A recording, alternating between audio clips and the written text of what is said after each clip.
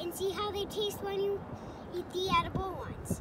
So I want to talk about one mushroom that can be found out in the wild and at the store. It's oyster mushrooms. They can be found out they can be found in the wild, gills that go all the way down the stem and a gray funnily looking cap.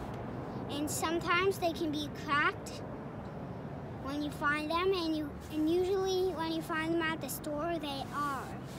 And they produce a silvery white spore print, which is when you put a mushroom on a piece of tinfoil and leave it there for at least a day, and then it releases its spores onto the tinfoil. And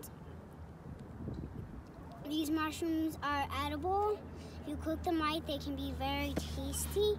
And I hope that if you ever find some or get some at the store that you enjoy them. And feel free to subscribe, which you already know. And see you on the next video.